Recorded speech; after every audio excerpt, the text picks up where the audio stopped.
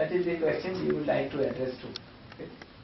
Whether all this which is desirable for us as human beings, is it possible for us to ensure this in the nature, in the existence? Is it that the design of nature itself is such that this is natural for us to fulfill, right?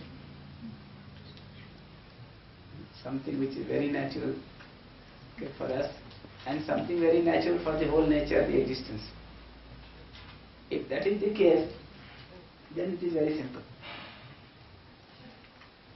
If it is the case otherwise, then it is very difficult, impossible. Right?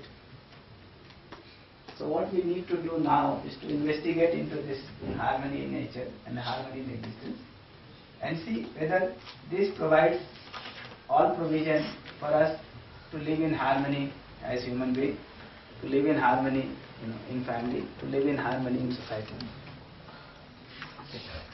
So whether that is possible by the very design of the nature, by the very design of existence, or is it contrary to this? That is what we are going to investigate further, right?